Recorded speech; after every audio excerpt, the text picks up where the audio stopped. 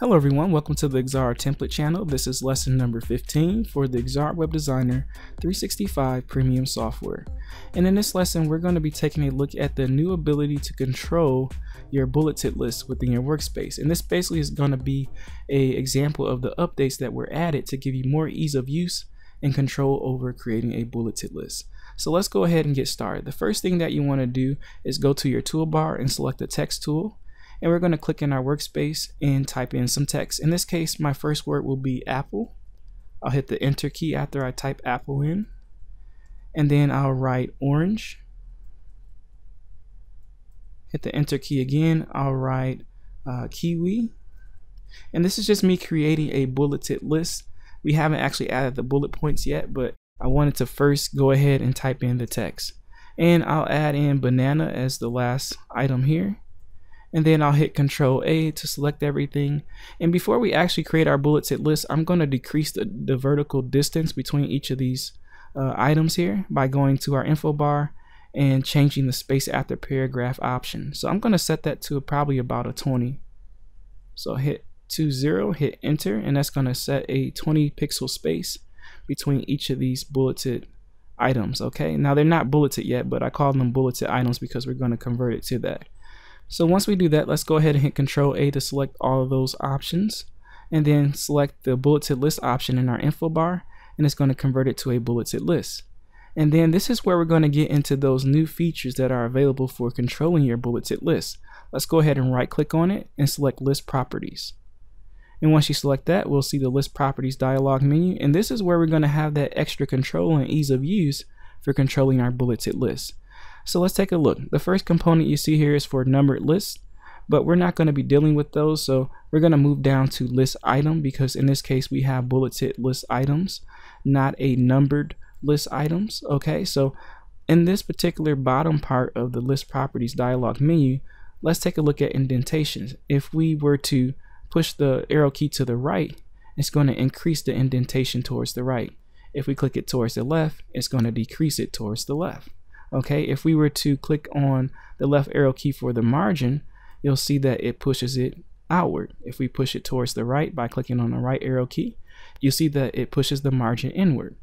Okay if we were to click on size and in the drop down menu for that and select maybe 64 pixels you'll see that we get a really huge uh, bulleted list. In this case they're actually really close to each other. So in this case when you have a situation like that you're going to want to go to the space after paragraph in our info bar. And if we go inside that menu and highlight it and then put in a bigger number like maybe 60 pixels, you'll see that now we have enough space between each bulleted list.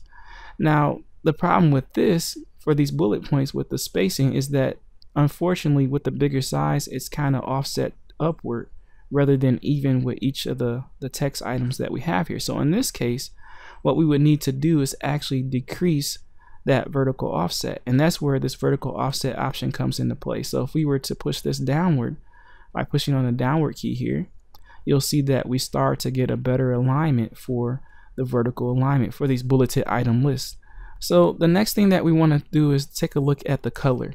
If we click on the edit key for color, you'll see that it brings up the color editor and we'll have the ability to change the color. And as we change this, it all happens in real time.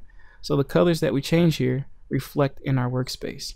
In this case, maybe we'll give it a bluish green color and then we'll close the color editor out. So now we have a different color bulleted list that has the proper vertical offset so that it looks really nice and neat. Now, now that we've created our own custom bullet list using the built-in features, let's take a look at replacing it with the font symbol. So if we click on the replace with symbol option here, it's going to bring up the font awesome items here and we'll be able to select a custom uh, bulleted list from the font awesome icons.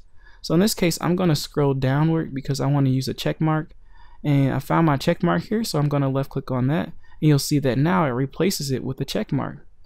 And we can also still control the other variables that we did before with using the font awesome icons. So if I went in and I changed the size to maybe a 14, you'll see that it sizes it down to really small or I can increase it back to really, you know, medium size, so 28 pixels. But again, we have a vertical offset issue, so what we want to do here is push that upward so that we can get a better alignment with those items that are in our list. Okay, so the next option that we have here is replace from clipboard. And basically what this allows you to do is create your own custom design bulleted list by drawing a shape or a picture, whatever it may be in your workspace, and then you would copy it from the clipboard. And when it says copy from clipboard or replace from clipboard, it's literally meaning that when you copy an object in your workspace, it will then give you the option to replace the bulleted list you currently have with that item that you just copied. So let's go ahead and show you an example of how that works. We go to our uh, toolbar again and select the rectangle tool and draw a rectangle in our workspace or a square in this case and hit control C to copy it to our clipboard and then we're going to go ahead and select our selector tool in our toolbar double left click inside our bulleted list.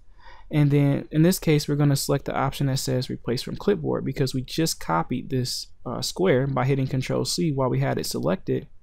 And when we hit replace from clipboard it's going to replace it with that square. So let's go ahead and left click on replace from clipboard. And you'll see that now we have squares as our bulleted list. In this case unfortunately the the squares are too close to each other so what we need to do is adjust the paragraph spacing afterwards so let's go ahead and hit control A to select all the bulleted list and then in our paragraph spacing in the info bar we're going to adjust that to maybe 60 pixels so now we have a proper spacing here so that it doesn't look like everything is squished together. And you already know how to adjust the vertical offset. If we wanted this to be better, we just simply push it up a little bit so that it will look correct. So I'm just going to push mine up a bit more so we have something that looks somewhat decent. So now we have a bulleted list that looks kind of neat here and doesn't look super out of place. So the last option that you have here is to reset to the default list items. But before we do that, let's go ahead and take a look at the size component for this custom bulleted list that we use from the clipboard. Can we adjust that is the big question. And the answer is unfortunately no. So if I were to go in and change this to uh, 96 pixels, you'll see that nothing happens. Even if I hit control A inside of the bulleted list and I try to change the, the variable for size, it does not change. So when you create a custom bulleted list, if you want to change the size, you're going to have to change the size in your workspace for that original object. So in this case, if we select the selector tool and select that original object and we make it smaller and we hit control C to copy it to the clipboard, double left click inside our bulleted list and then say replace from clipboard by clicking on that. And you'll see that now our bulleted list becomes smaller. So in terms of the size variable, you cannot control that when you create a custom bulleted list.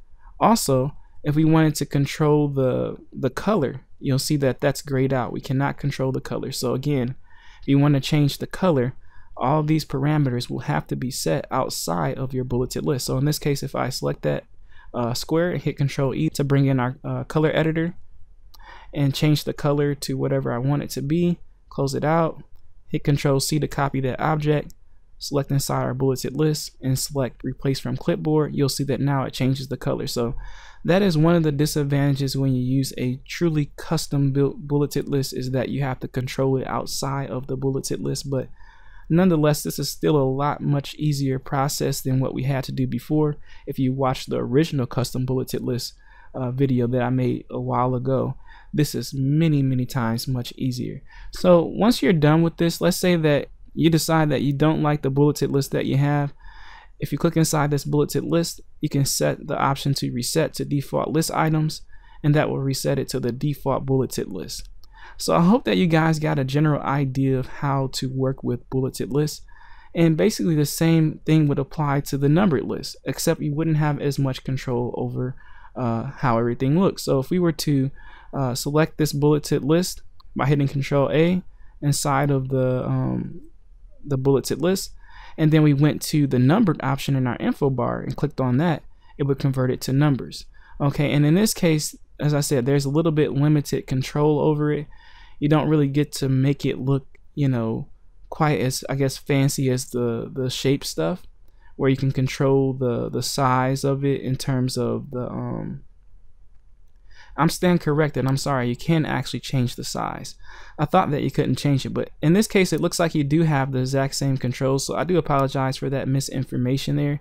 Um, you do still have control over the same variables, it looks like, that you did for the uh, bulleted list. The only thing that you cannot do in this case is actually replace it with symbol um, for certain certain components. So if you scroll through here, at least from what I can see on my computer, there isn't any um, bulleted list option for numbers.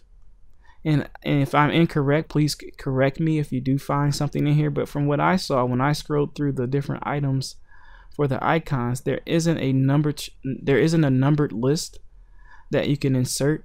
I don't even think there's a lettered uh, list that you can create. So for numbered lists and for lettered based lists, at least at this particular time of re me recording this video, that is not a option. So you do have full control over it just like the bulleted list you just don't have any font awesome icons that will replace that will replace your uh, letters or numbers for your your uh, list so hopefully that makes sense. But other than that you'll have full control. I hope that this video was helpful and if it was don't forget to embed comment share and subscribe and stay tuned for future videos if you're currently not a part of our Patreon page, please make sure you check that out. Any support that you give us will help us improve the quality of our YouTube channel as well as the frequency at which we release new videos.